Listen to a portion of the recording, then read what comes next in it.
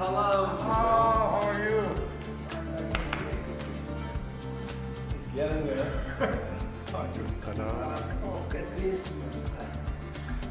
So you asked me in Farsi, right? I, I asked you in Farsi. Aryan will translate it for you. You uh, answer in English. Nice, nice shirts. Yeah. You've been training football. You've been playing. Do you need a striker? Yeah. You need a stri- striker, no, but central backs, the defenders, midfielders. No, we need. So forwards, we have too much now. Now the, the problem is how to put the ball in the forwards. Let's go to the tough questions. The usual tough questions of Mr. Adal. Ah, the, the, the questions are not tough. The answers sometimes are tough. One, two, three, four. Good test. سلام آقای کیروش عزیز 1325 روز قبل ما با هم مصاحبه کردیم تو هتل تو نووتل بود دم فرودگاه امام اونجا بهت گفتم که اولین مصاحبه تلویزیونیت با من بود و آخرین مصاحبه داریم با هم انجام میدیم ولی من یادم اون روز بهم گفتی که امیدواری که آخریش نباشه. نکنه از آینده اصلا خبر داشتی.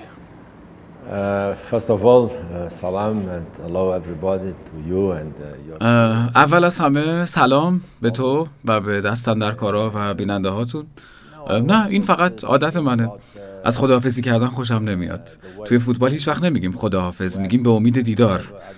دقیقا مثل زندگیه. وقتی بین تو و دوستای خوبت و هوادارات یه پیوندی شکل می‌گیره حتی وقتی بعضیا باهات دشمنی می‌کنن البته دوست ندارم از لفظ دشمن استفاده کنم. منظورم کساییه که دوستت نیستن. همیشه یه فردایی هم وجود داره و زندگی یعنی همین. Uh, time. اون موقع می‌دونستم که بعد از نه سال کار کردن رابطه من نه فقط با شخص تو بلکه با کل ایران به آخر نرسیده. حتما یادته وقتی داشتم می‌رفتم عذاب میکشیدم چون یه کار ناتموم داشتم. یه روند و یک هدف ناتموم. و همچنین به خاطر دوستا و روابط اجتماعیم. برای همین خداحافظی کردن برام سخت بود و ترجیح می‌دادم بگم بعدا میبینمتون. لحظه رفتن لحظه خاصیه و دلم می‌خواد با روی خوش به سراغ این لحظه برم. دوست نداشتم این یه جدایی باشه بلکه به نظرم یه شروع تازه بود. وقتی چیزی رو شروع می‌کنی نمی‌دونی چی در انتظارته. همه چی دست خداست. به خاطر همین به این شکل جواب دادم. تو همون مصاحبه بهم گفتی که من بخشی از وجودم رو دارم اینجا جا می‌ذارم. فکر نمی‌کردم اینقدر زود بیای سراغ اون بخش از وجودت. Uh, to be honest, uh, راستش در اون لحظه همچین حسی داشتم. من توی زندگی فوتبالیم این افتخار رو داشتم که 45 فصل متوالی کار کنم. این فصل 46 مه که مربیگری می‌کنم. اکثر قراردادهای من بلند مدت بودن. حتی مواقعی که قرارداد یک سال یا دو ساله میبستم در نهایت لاقل سه، چهار، پنج یا 6 سال اونجا موندگار می‌شدم. مثلا قرار بود دو سال با منچستر یونایتد کار کنم ولی 6 سال اونجا موندم. بعدش به آفریقای جنوبی رفتم و دو سال اونجا کار کردم. با ایران قرارداد سه ساله بستم اما نه سال اینجا بودم. یا با تیم ملی پرتغال دو سال قرارداد بستم اما نهایتا چهارده سال اونجا کار کردم. توی زندگیم همیشه پروژه هم بلند مدت بوده به جز دو سه مورد. توی فوتبال گاهی وقتی نتونی در کوتاه مدت به موفقیت برسی زودتر از چیزی که فکر می‌کنی به آخر راه می‌رسی. اما برعکسش هم برام اتفاق افتاده. یعنی پیش اومده که خیال کنم در پایان قراردادم کارم تموم میشه اما مدت بیشتری موندگار شدم. این دقیقا اتفاقی بود که توی ایران برام افتاد. نمونه خوبیه. مخصوصا توی تیمای ملی همچین چیزی در موردم صادق بوده. تعهد طولانی مدت. و حالا دوباره اینجا. برای یه شروع تازه. برای یه ماجراجویی تازه. یه رویای تازه. من توی گذشته زندگی نمی کنم و فکرم درگیرش نیست. بلکه این یه حال و یه آینده جدیده. It's just a new present and a new, a new future for me. اون موقع خب جو خیلی مناسب نبود دیگه. مخالفات خیلی زیاد شده بودن بعد از شکست سه هیچ مقابل ژاپن. و تو همون مصاحبه به من گفتی که من یه پروژه 8 ساله داشتم هر پروژه یه آغاز داره و یه پایان این حضور مجددت آیا در واقع استارت مجدد هست یا ادامه همون پروژه In one way, yes. Another another way, not. یه جورایی بله و یه جورایی نه گمونم تا جاهایی که یادمه در طول زندگیم که توی جامهای جهانی، جام ملت‌های اروپا و تورنمنت‌های ملی شرکت کرده بودم همیشه یه عادتی داشتم. اینکه دوست ندارم برگردم و آخرین لحظه رو که مهمترین لحظه هم هست مرور کنم. ترجیح میدم احساساتم نسبت به اون لحظه همونجور که هست بمونه. بذار یه مثال بزنم. سال 1989 برای اولین بار قهرمان جام جهانی شدیم. اما من هیچ وقت دیگه اون مسابقه رو نگاه نکردم. صحنه های حساسش رو دیدم اما کل بازی رو نه. برعکسش هم هست. بقیه مسابقات رو با دقت سه چهار بار مطالعه می‌کنم. اما ترجیح میدم احساساتم نسبت به لحظات خاص و مهم همونجور دست نخورده باقی بمونه. راستش من هیچ وقت بازی با ژاپن رو دوباره ندیدم. البته الان باید بشینم و نگاش کنم چون توی این شروع تازه لازمه یه چیزایی رو مرور کنم. واقعا عذاب آور بود. دو سه تا بازی هستن که هنوز تلخیشون زیر زبونمه و هیچ وقت نمی‌تونم هضمشون کنم. چون جام ملت‌های 2015 شروع یه ماجرای خاص برای ایران بود اما جام ملت‌های قطر جام ما بود. اون جام جام ما بود. تنها توضیحی که برای اتفاقات بازی ژاپن پیدا کردم این بود که تمام تیم دچار فروپاشی روانی شد. ما در اون لحظه خیلی قوی بودیم. توی دلمون چنان اطمینان داشتیم که وقتی گل اول رو به اون شکل خوردیم تیم ما و بازیکنامون در اون مقطع به چنین لحظات وحشتناکی عادت نداشتن. گل خوردن با همچین وضعیتی براشون کاملا بیگانه بود. براش آمادگی نداشتن و نتونستن خودشون رو جمع و جور کنن.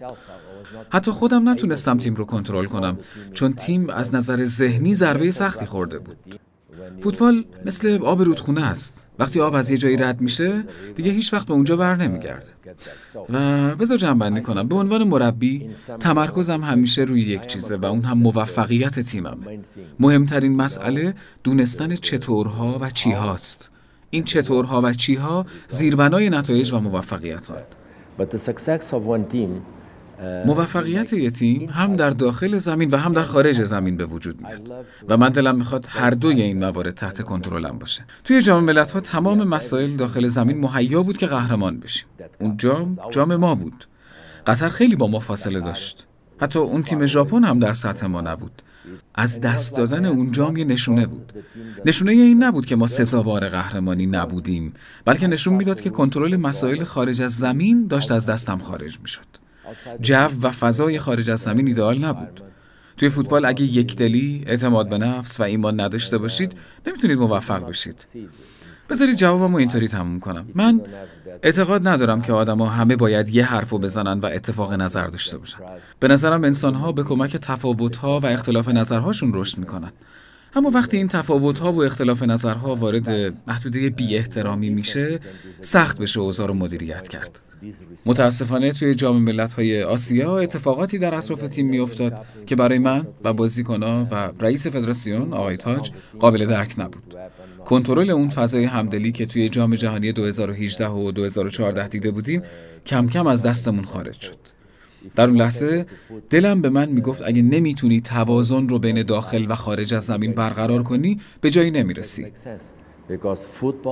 چون فوتبال فقط به صحنه ها و اتفاقات داخل چهار خط زمین محدود نمیشه. بیرون زمین و داخل زمین همه چیز باید دست به دست هم بده تا تیم موفق بشه.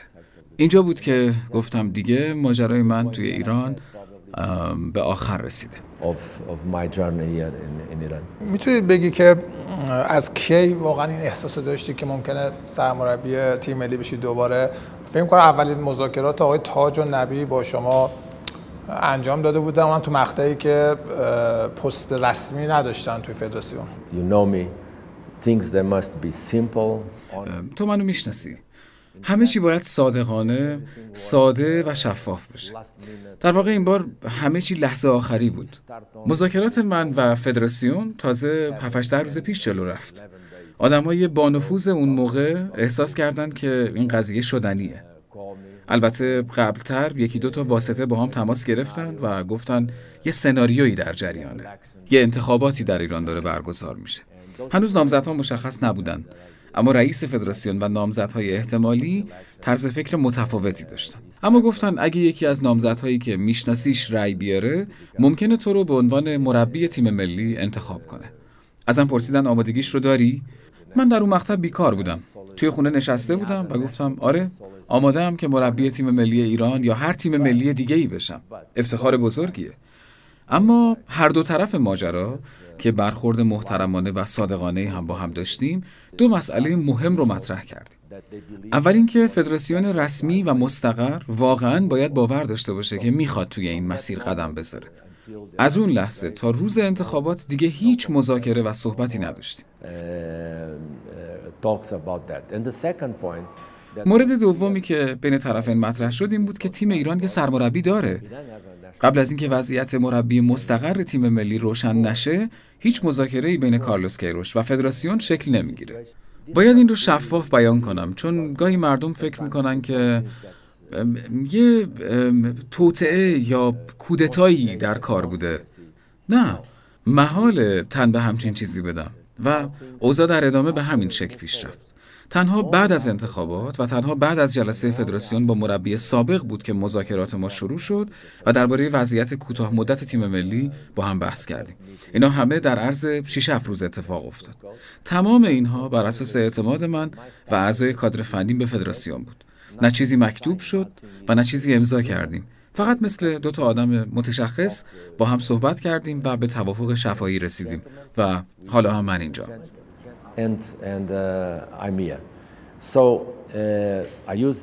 می‌خوام از این فرصت استفاده کنم و بگم برام مهمه که به طور واضح بگم اگه ما الان اینجاییم حاصل زحمات بازیکنایی که تیم ملی ایران رو به جام جهانی رسوندن و حاصل زحمات آقای اسکوچیچ و همکاران و دستیاران ایشونه که برای رسوندن ما به این موقعیت تلاش کردن.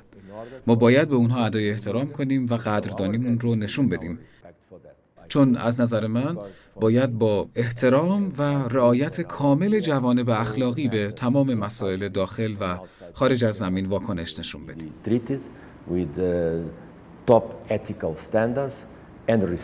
اتفاقی که باعث شد این روند بره جلو اینجوری بود که خب جام ها شما خیلی امید داشتی تیم ملی قهرمان بشه و دوست داشتی یه پروژه 8 ساله که داشتی یه اچیومنتی یه ثمره داشته باشه.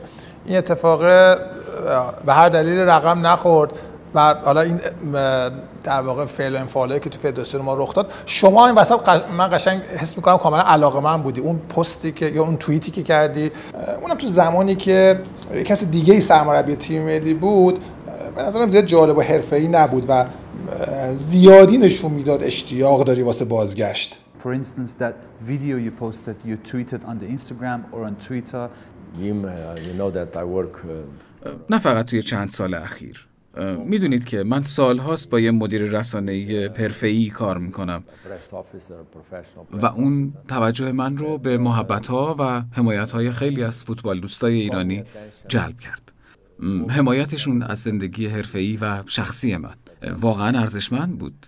از هر فرصتی استفاده می کنم تا تشکر کنم و قدردان محبت و حمایت فوتبالیستای ایرانی باشم. حتی وقتی با های ملی دیگه کار می کردم مثلا وقتی چند وقت پیش با مصر قرارداد بستم تعداد طرفدار ایرانی که بهم به ابراز لطف کردن از مجموع حمایت فوتبالیستای مصری و پرتغالی بیشتر بود.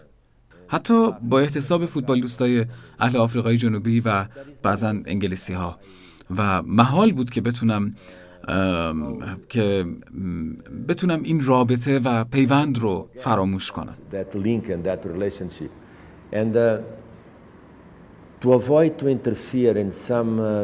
نمی‌خواستم مداخله ای توی کار تیم ملی بکنم اما با کمک مدیر رسانه ایم گاهی یه نشونه هایی از پیوندم و توجه هم به فوتبال ایران رو بروز می‌دادم.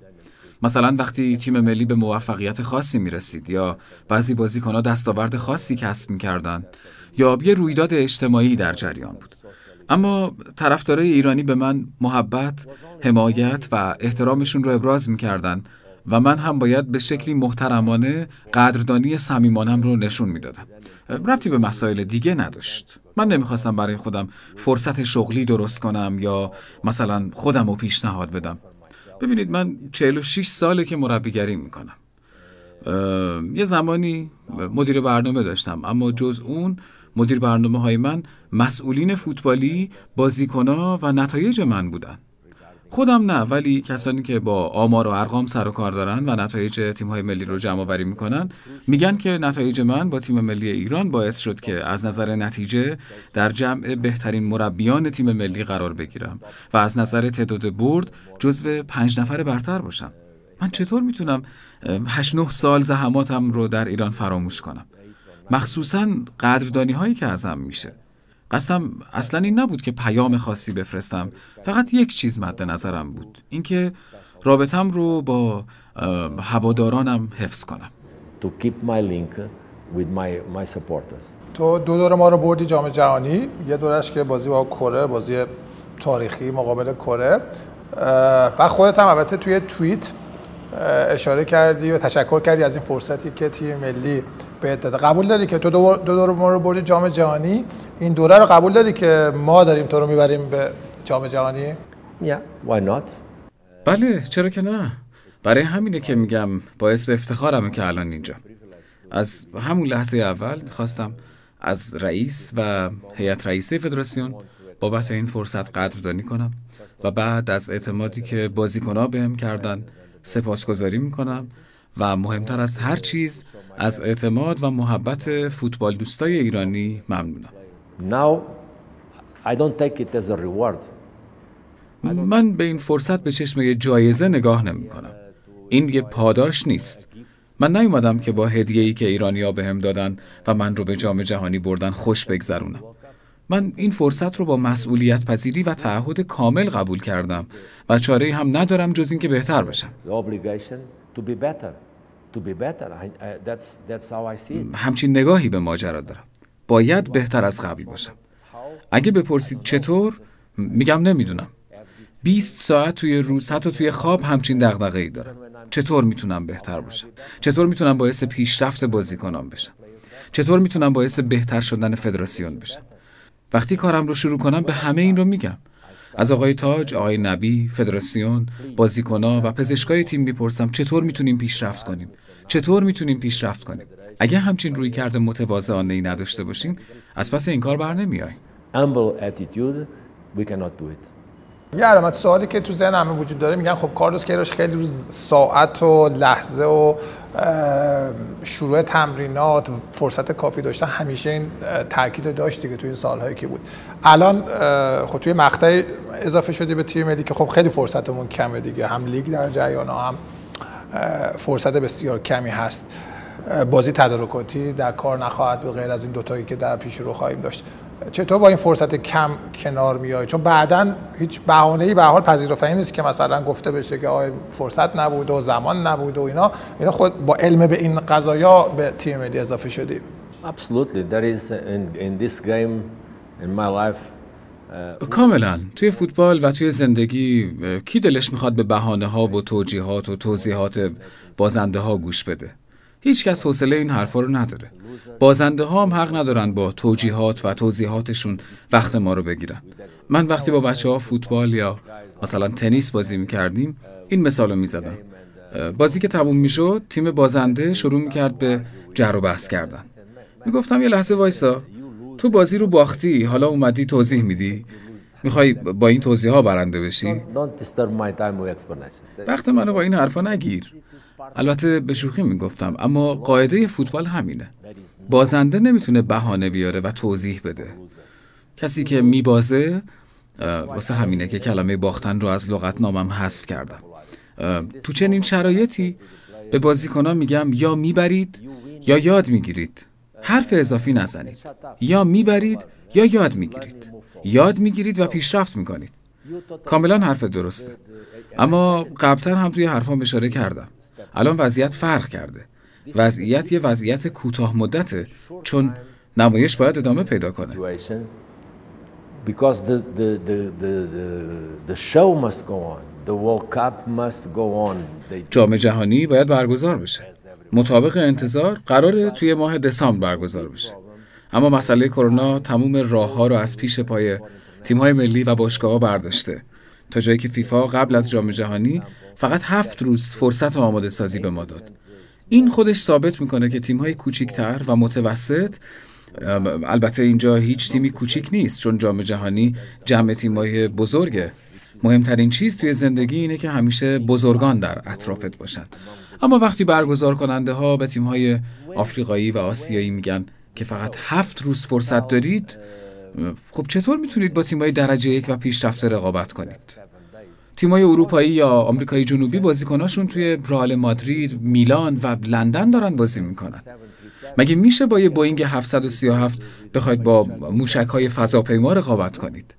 حالا چون مسئله کرونا هست فقط هفت روز فرصت دارید شما با موشک های فضاپیماتون برید و شما هم با بوینگ 737 به سمت ماه پرواز کنید خب الان چی میشه فقط میشه با خیال پردازی و راه حلای جادویی به سراغ این مشکل رفت.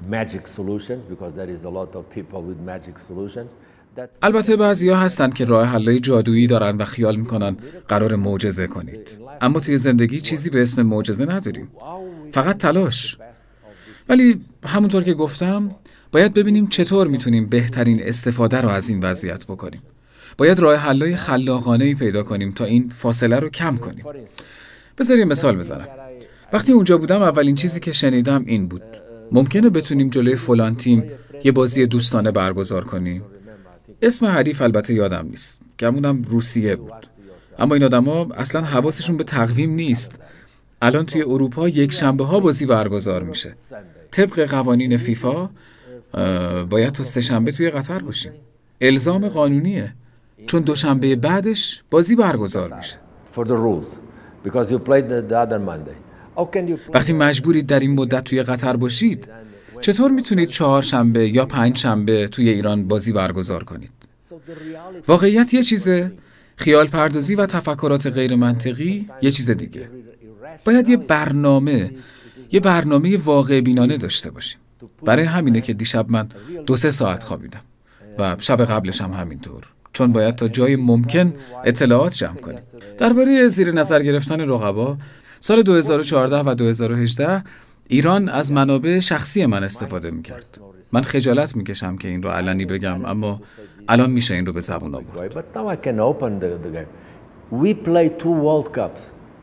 ما دو تا جام جهانی بازی کردیم. اما هیچ منابعی برای زیر نظر گرفتن رقبا اختصاص ندادیم. هیچ کسی رو نمی‌دونه. وقتی به رفقام توی تیمای ملی دیگه میگم که ما سال 2018 حتی یه مربی هم نداشتیم که بگیم بره و بازی پرتغال یا اسپانیا رو توی ورزشگاه دیگه تماشا کنه می‌گفتن حتما شوخی گرفته. ولی من شوخی نمی کردم. ما برای زیر نظر گرفتن بازی حریفامون بازیاشون رو دانلود می کردیم. در طول جام جهانی اطلاعات زیادی داشتیم چون بازیاشون رو دانلود کرده بودیم. اطلاعات تک تک بازیکنهای پرتغالی رو توی تیمای باشگاهیشون دانلود کرده بودیم. انبوهی از اطلاعاتشون رو داشتیم.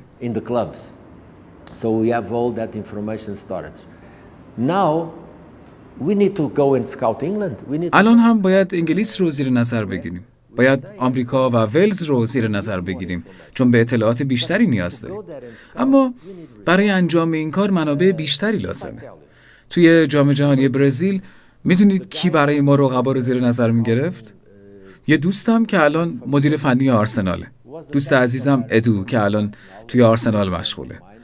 بهش گفتم ادو اگه دو تا بلیت بهت بدم لطف می‌کنی که بری بازی آرژانتین رو برام بررسی کنی؟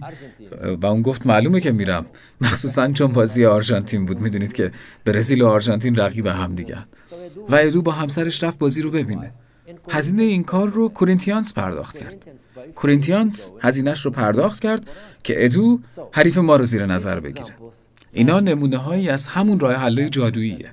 عادل ما الان باید راه حلای زیادی رو کنار هم بچینیم. چون همونطور که گفتم باید خلاق باشیم و اختلافمون رو با رقبا کاهش بدیم تا با آمادگی بیشتری به مساف انگلیس بریم.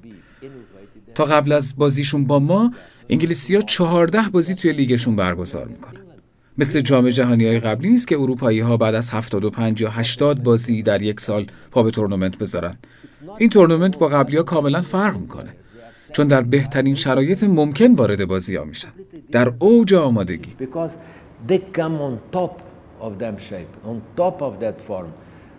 سال 2018 قبل از جام جهانی ما توی کمپمون می‌خواستیم تیم رو به فشار بازی ها نزدیک کنیم.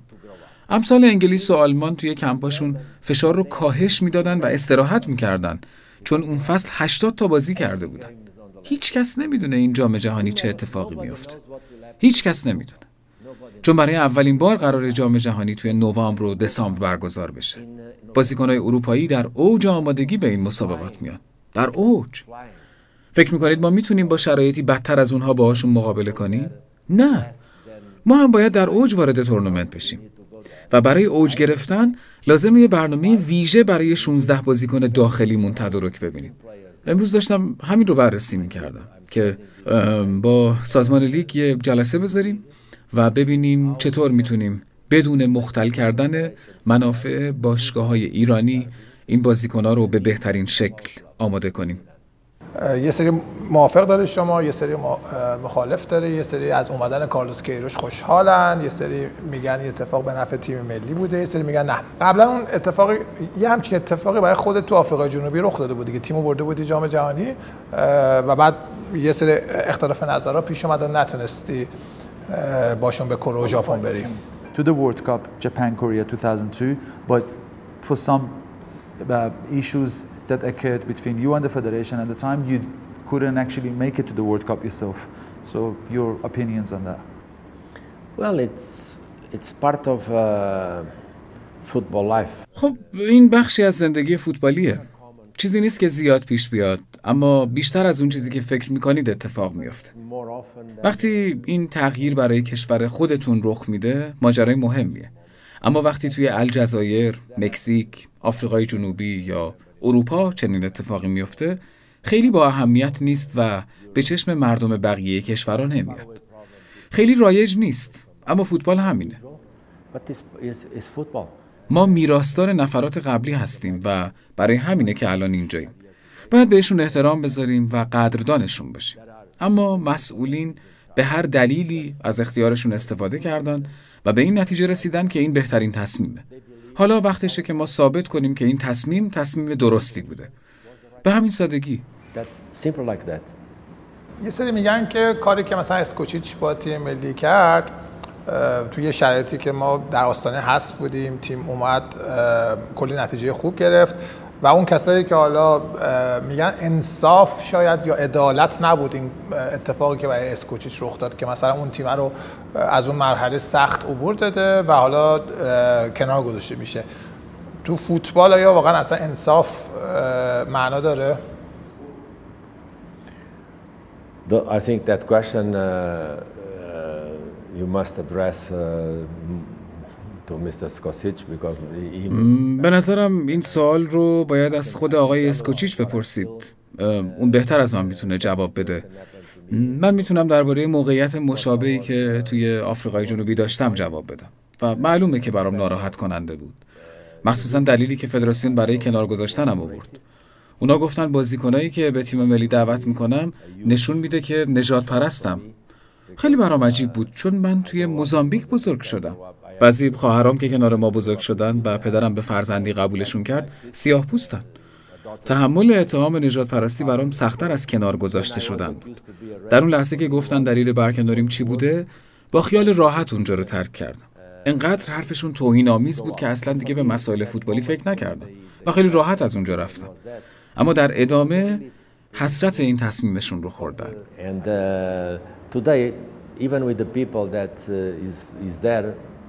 امروز من حتی با آدمایی که اونجا بودن رابطه دوستانه ای دارم چون اون یه اختلاف نظر بود. تصمیم می گرفتن که من باهاش موافق نبودم اما براشون احترام قائلم و هنوز با بعضیاشون دوستم. درباره اتفاقات اینجا قطعا این تصمیم هم با توجه به برخی دلایل به خصوص گرفته شده. ارزیابی این دلایل جزء وظایف من نیست. وظیفه من این بود که به اون پیشنهاد پاسخ مثبت یا منفی بدم. حالا می‌خوام باعث پیشرفت بشم. می‌خوام از میراث مربی و کادر قبلی استفاده کنم و باعث پیشرفت تیم بشم. کار من فقط همینه. اگه با عینک انصاف و عدالت به مسائل زندگی نگاه می‌کنی باید بگم زندگی حرفه‌ای بر مبنای تصمیمات عادلانه نیست. بر مبنای تصمیمات درسته. فکر کن یه بازیکنی هست که سالها به تیم خدمت کرده و باعث برد تیم شده. در سی و یک یا سی و دو سالگی دیگه خیلی سر حال نیست. بعد از تمام زحماتی که من بازیکن برای تیم کشیدم آیا منصفانه است که مربی دیگه من رو دعوت نکنه؟ به نظر من منصفانه نیست. اما خودتو بذار جای مربی. اون باید تشخیص بده چی برای تیمش درسته. برای همین نباید درست و منصفانه رو با هم قاطی کرد. برای همین اگه مربی یا رئیس تصمیم درست رو نگیرن فقط به یه نفر لطمه نمی‌زنن. به همه لطمه می‌زنن.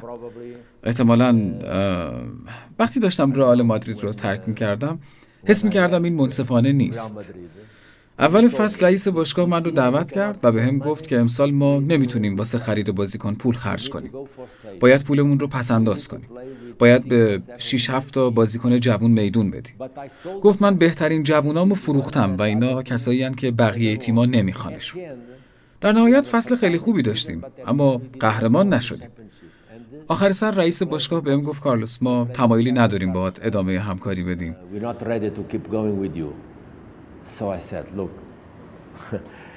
گفتم شماها از من خواستید سال اول یه پروژه رو پیش ببرم و پول خرج نکنم. اون موقع براشون مهم بود که باشگاه رو بازسازی کنیم و توی کورس باشیم تا سال بعد دوباره شروع کنیم. گفتم من یه سال پروژه شما رو جلو بردم و حالا شما منو اخراج کردید. منصفانه نبود اما از نظر مدیر تصمیم درستی بود. باید به این تصمیم احترام بذارم. من با این تصمیم موافق نبودم اما باید بهش احترام میذاشتم.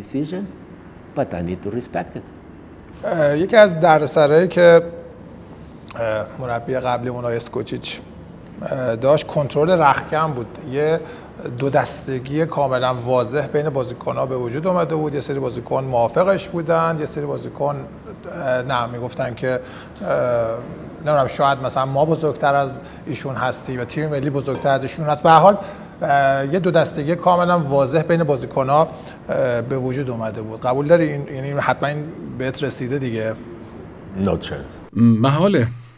این غیر ممکنه. حتی نمی‌تونم تصورش رو بکنم. بچههایی که خودم پرورششون دادم چنین تردیدهایی نسبت به من داشته باشن. اونا می‌دونن برای من فقط یک چیز مهمه و اون تیم ملیه. همه آدمای خوب و دوست داشتنی هستن. یه جمله هست که توی پک نوشتم و هنوز اونجا هست چون بعضی دیگر رو از اونجا بردن بیرون. اما این یکی رو نگه داشتن چون احتمالا می‌دونستن چرا این جمله رو نوشتم. اونجا نوشته ویروس من یعنی شکست ما. این جمله هنوز اونجاست و سنگ بنای تمام چیزهایی که از قبل ساختیم و سنگ بنای موفقیت های آینده ما خواهد بود. اونجا جای بازیکنهای خودخواه نیست. بازیکنهایی که نمی‌دونن پوشیدن پیراهن تیم ملی یعنی اتحاد یعنی همدلی و یک بارچه بودن. اگه کسی اینا رو ندونه تحت هدایت من به پیراهن تیم ملی نمی‌رسه. محاله که مشکلی توی رختکن تیم ملی به وجود بیاد. چون اگه کسی بخواد توی رختکن مشکلی درست کنه دیگه جاش اونجا نیست. باید بره بیرون. اما من- صحبتم راجع به شرایط قبلی بود. یعنی منظورم اینه که اگه دوره شما مثلا دو تا سه تا بازیکن برن نهاد ریاست جمهوری و صحبت کنن راجع به نیاز به تغییر در کادر فنی شما چه برخوردی با اون بازیکن ها می‌کنی آیا تحمل می‌کنی همچین شرایطی رو هستم Well, I don't know if the, this is this is a completely new. نمی‌دونم. این رو تازه شنیدم. البته نمیگم این حرف درست نیست. اما اطلاع ندارم و مطمئن نیستم که درست باشه. در زمان من که تا حالا همچین چیزی اتفاق نیفتاده. اما اگه چنین چیزی بوده باید از مربی و خود بازیکنها سوال کنید که چرا کار به اینجا کشیده. نمی‌دونم چه نظری باید بدم چون بخشی از وظایف من به عنوان مربی نیست. وظیفه من به عنوان مربی یه چیزه.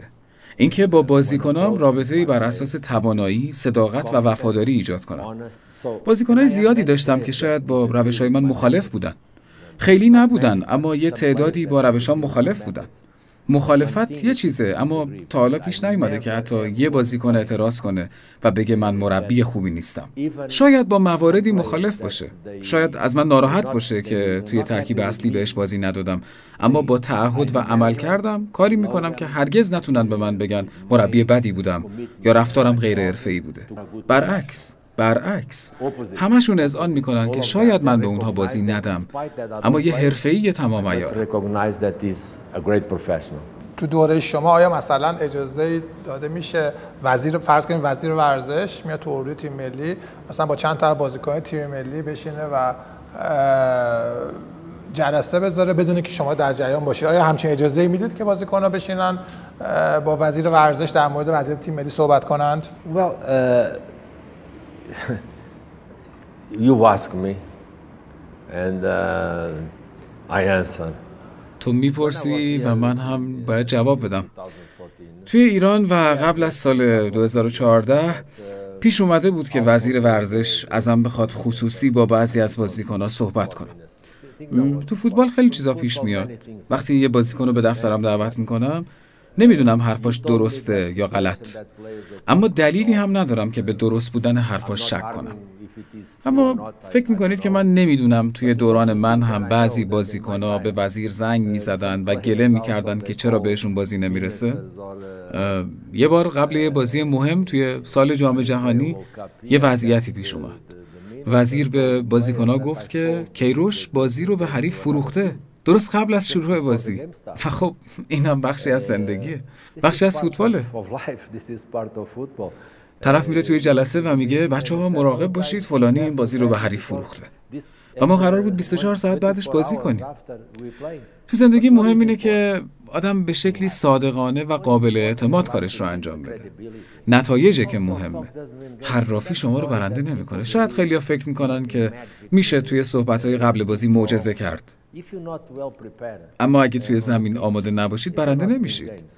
تا حالا نشده که به خاطر این داستانهای کثیف یه بازی رو ببازم یا به خاطر اخبار خوب یه بازی رو ببرم. در نهایت کاری که باید انجام بدید اینه که سراغ چی و چطور برید. چی مهمه؟ فکر کن به یکی بگی فلانی بازی رو فروخته. اصلا می‌تونی تصور کنی یه مربی بازی رو به تیم حریف بفروشه. اما این حرف راجع به من زدن. اونم در حالی که من اینجا بودم و با تعهد کامل مشغول انجام کارم بودم و داشتم انرژی و عمرم رو هزینه می‌کردم. یادمه که یه بار تیم به مشکل خورده بود. پول از خارج جذب کردم تا این تجهیزات رو بسازیم. حتی وقتی فدراسیون امکان پرداخت پول من رو نداشت من برای بازیکنها و تجهیزات پول جور می‌کردم تا کار رو جلو ببرم. آخر سر می‌گفتن این یارو احمقه. اصلا که چی؟ چه اهمیتی داره؟ مهم اینه که خودت کی هستی که چطور رفتار می‌کنی. نظر شما راجع به من چیه؟ برام مهم نیست که راجع به هم چی فکر می‌کنی. دغدغه من اینه که خودم چجور آدمیم و هر روز چی کار می‌کنم. هر شب به اینا فکر می‌کنم و میخوابم. خوشحالم که به این ماجراهای حساسیت برانگیز اشاره کردی چون این ماجراها به من این فرصت رو میده که بگم اینجور اتفاقات در گذشته ممکن بوده. حالا ممکنه و همیشه در آینده هم ممکن خواهد بود. چیزی که اتفاقات خارجی روش تأثیر نداره اینه. طرز کار من باورهای من و اینکه فکر می‌کنم چه تصمیمی برای تیم بهتره. در نهایت ایناست که مهمه. اینکه به نظر من چه کاری در داخل زمین به نفع تیمه. باید براش بجنگیم. اینکه به نظر من چه کاری در خارج زمین به نفع تیمه باید براش اقدام کنیم. حرف آخرم اینه دوست من. قضاوت رو به خدا واگذار کنیم. آدم ها خلق شدن که کار کنن و خدا هم هست که قضاوت کنه. اما متاسفانه گاهی بعضی آدما ادای خدا بودن رو در میارن. تنها وجودی که حق قضاوت داره خداست. یه آدم اگه می‌خواد حرف بزنه باید عمل هم بکنه. نشون بده که تو بهتری. نشون بده که می‌تونی یه تفاوتی ایجاد کنی. و توی این مقطع از زندگیم همچین طرز تفکری دارم. That's my wisdom with in this moment of my life. درباره دستیار داخلیت همه جا صحبت از جواد نکونام خودت هم دیروز بکنم تو کنفرانس خبری یه تو مصاحبه که قبل از تمرین داشتی گفته بودی که تنها گزینت جواد. این طرف دیگه خب جواد درگیر تیم فولاده دوست داره اونجا به عنوان سرمربی به فعالیتش ادامه بده و حال یه پروژه رو شروع کرده و از طرف دیگه خب من فکر می‌کنم وسوسه هم بشه که جام جهانی رو تجربه کنه. چجوری الان وضعیت دستیارت؟ Well, we are we are working on that. Um, خب داریم روی این قضیه کار می‌کنیم. من باید به خاطر این قضیه عذرخواهی کنم چون خودم هم بابتش خوشحال نیستم. وقتی یه مسئله نهایی بشه و در راستای راه حل ما باشه من میام و عمومی اعلامش می‌کنم. میام و میگم که قرار این کار رو بکنیم. اما از این بابت عذر می‌خوام. مردم باید متوجه باشن که این تصمیم ها در هفت تا ده روز اخیر گرفته شدن. چون همونطور که گفتم قبلش به خاطر وضعیت انتخابات و مخصوصا تصمیم سخت فدراسیون و رسمی شدن وضعیت پروژه قبلی یه دیواری کشیده بودیم میل و خواسته آدما یه چیزه و اعلام رسمی یک تصمیم یه چیز دیگه است. باید رسما اعلام کنید که این پروژه به آخر رسید و حالا یه پروژه جدید شروع شده. تو این مدت کوتاه صادقانه و بیرو درواسی میگم. گزینه اصلی من شخص و بازیکنیه که قبولش دارم. و باور دارم باید به یکی از ستونهای فوتبال ایران تبدیل بشه و مسیر نوسازی فوتبال ایران رو ادامه بده. چون با تمام احترامی که برای ستارگان بزرگ فوتبال و بازیکنهای درجه یک دارم وضعیت در حال تغییره. وضعیت باشگاه های اروپایی در جام جهانی 2006 دیگه خیلی شبیه الان نیست.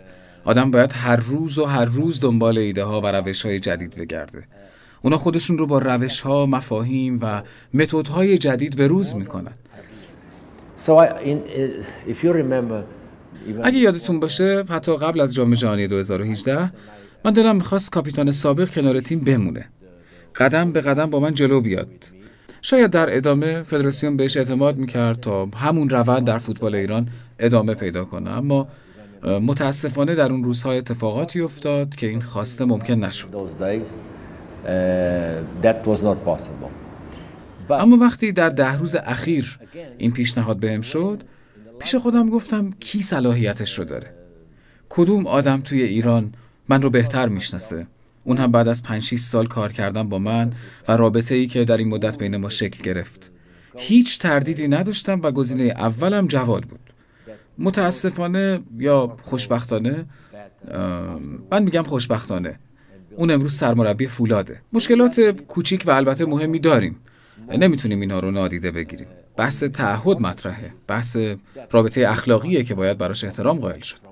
کمی زمان نیاز داریم که یه راه حلی پیدا کنیم. راه حلی که همراستا با باورهای من و منافع تیم ملی باشه. شخصی که جزو رکوردداران بازی ملی در ایرانه کاپیتان تیم ملی بوده و الان سرمربیه بازیکنهای جوون براش احترام زیادی قائلن. بعضی بازیکنهای فعلی در تیم ملی کنارش بازی کردن. اما فولاد هم یک طرف ماجراست. باید به تعهدش به فولاد هم احترام بذاریم. امیدوارم که در کوتاه مدت و با حمایت فدراسیون و آقای تاج و با موافقت جواد بتونیم به راه حل مطلوبی برای همه طرفین برسیم نه فقط تیم ملی. باید منافع فولاد، فدراسیون و تیم ملی رو در نظر بگیریم.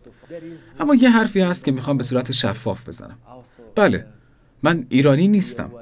اما بعد از نه سال کار در ایران با ذهنیت و روحیات ایرانی ها آشنا الان وقت پرداختن به امیال و منافع شخصی و غرورمون نیست. دیگه تو خودت می‌دونی دیگه. با کمال احترام ایرانیا آدمای دوست داشتنی هستن اما گاهی غرور خاصی دارن. الان وقت کاره. وقتشه که به تیم ملی خدمت کنیم و در خدمت رویای مردم باشیم. یه فرصت تازه در اختیارمونه.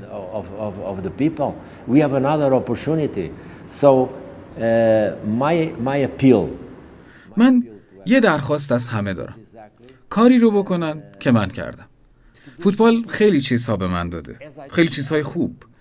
اما گاهی باید آمادگی این رو داشته باشیم که بعضی از این چیزهای خوبی که فوتبال به ما داده رو به فوتبال برگردونیم. فدراسیون و فوتبال ایران. این حرفها رو به جواد، مسعود، اشکان، سید جلال و بازیکنهای پخته تر می زدم. می گفتم این بازیکنها به شما احتیاج دارن. شماها باید دست در دست هم کار کنید.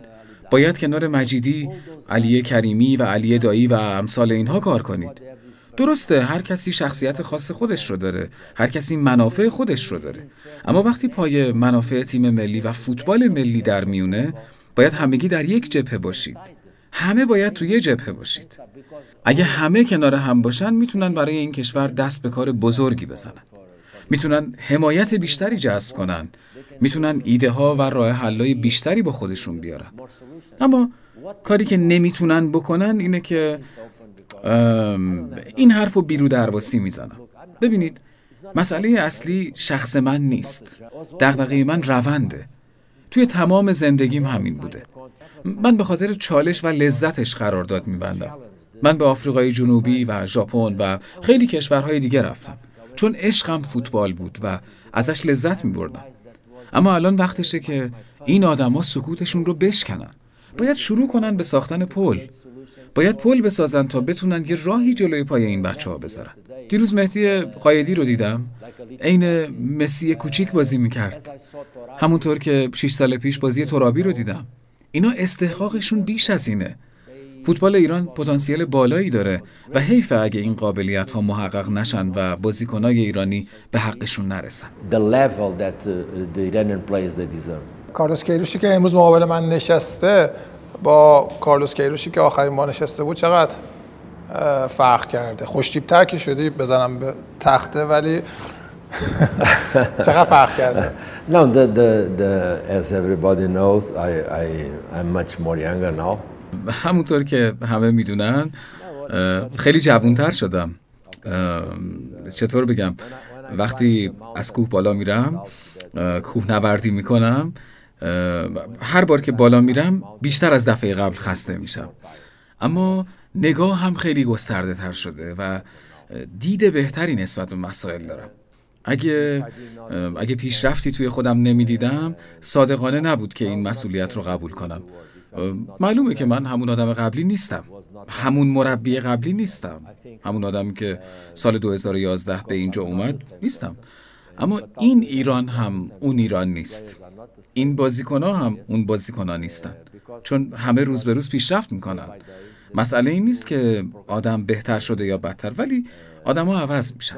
چیزی که امروز به لطف بالا رفتن از کوه و اون نگاه گسترده ترم می‌دونم اینه که اگرچه به خاطر سنم و سر حال نبودنم یک کمی خسته شدم اینه که چشمها و و عقلم به هم میگن که امروز برای مواجهه با اختلاف نظرها و مواجهه با افرادی که طرز فکر متفاوتی دارن و از من خوششون نمیاد آماده تر و پخته ترم نه از شخص من بلکه از راه حلها و روش هایی که استفاده می‌کنم. Uh, but I have this uh, uh, calmness به لطف آرامشی که دارم متوجه شدم که مشاجرات کلامی بهترین راه حل نیستن. م، الان بهتر می‌دونم و بیشتر اطمینان دارم که تنها در صورتی میشه موفق شد و به اون لحظات غلبه کرد که واقعا کارت رو خوب انجام بدی. اینکه واقعا نشون بدی حق با توه و داری توی مسیر درستی قدم برمیداری. در اون صورت حتی کسی که با تو هم نظر نباشم دیر یا زود اقرار می‌کنه که بله حق با ایشونه. و امیدوارم خدا در این مسیر کمکم کنه که راه حل هام راه حلای درستی برای تیم باشه.